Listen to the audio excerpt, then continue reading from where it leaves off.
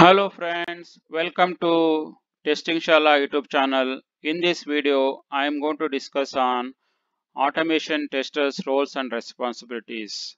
So where I am going to talk in detail being an automation tester, what are the things you should do in the software testing. It could be waterfall model or it could be agile testing or it could be whatever the model being going to operate.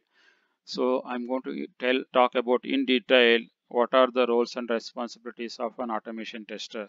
This could be irrespective of any tools being used and uh, I'm not going to be a particular tool specialist here and the same skills and responsibilities would remain same across all the tools.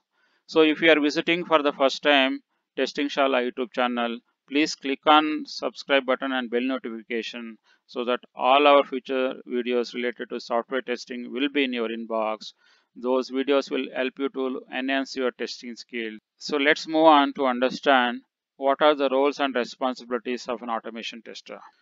So the first important thing here is you should understand any one automation tool. Uh, it could be any tools, but uh, whatever the tool which you are going to operate in your project, you should have a good understanding of those automation tools if you talk about Selenium or if you talk about Appium or if you talk about Qtp or Silk Test, Worksoft, you name any tool, right? You name any tool, you should be expertise in that. Whatever the tool you have picked for automation, then you should bring or you should get expertise on those tools. Should the tester should have complete understanding of the software testing and its methodologies and what are the techniques being used to design the test cases.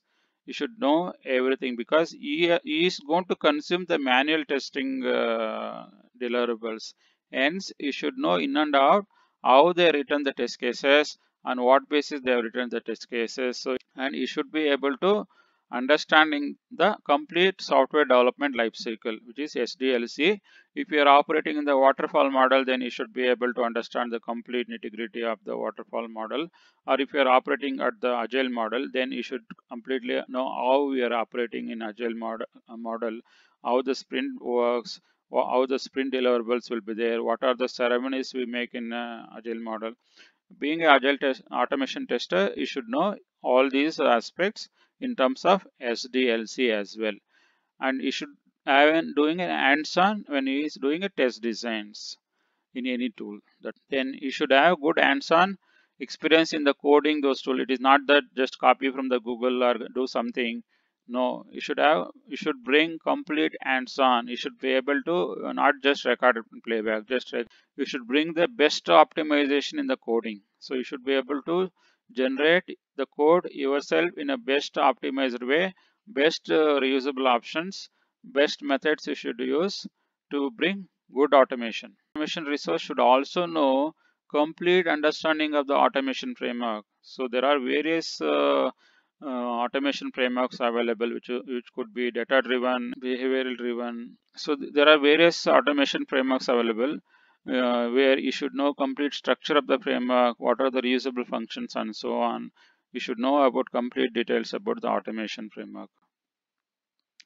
And you should adapt the good coding best practices because as the day progresses, your scripts count will increase and maintaining the later phases becomes very difficult. Hence, you should bring good reusable concept when you when he's going coding it and he has to put in the right framework so that in the in the later journey maintaining those scripts becomes very easy. So because we are talking about the agile model as well because that's where all the projects are getting more being an automation tester you should know about the AOF journey because that is where the infrastructure they are going to provide to run your scripts on day-to-day -day basis or as and when they check in right you should know about the environment being used in the DevOps uh, these environments can be via desktops or mobile or any other infrastructure. So being automation tester, you should know all these uh, concepts as well.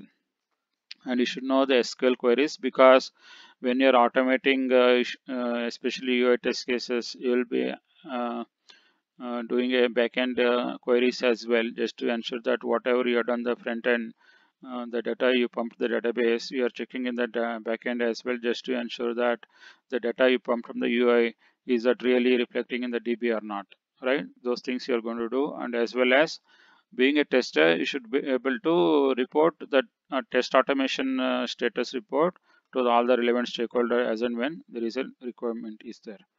And you should have good analytical and testing skills. Hope you understood the overall concept, what automation tester should know. If you wanted to take up a automation tester role, at least an eye level, you should have all these skills. If you don't have it, then that is fine. Still go through one by one and see how can we adapt, how can we improve or how can you groom yourself to learn all these skills. I hope uh, you enjoyed watching this video. If you are visiting for the first time Testing Shala YouTube channel, please click on subscribe and bell notification so that all our future videos related to software testing will be in your inbox that would help you to enhance your testing skills. Thanks for watching this video. Bye for now. Take care.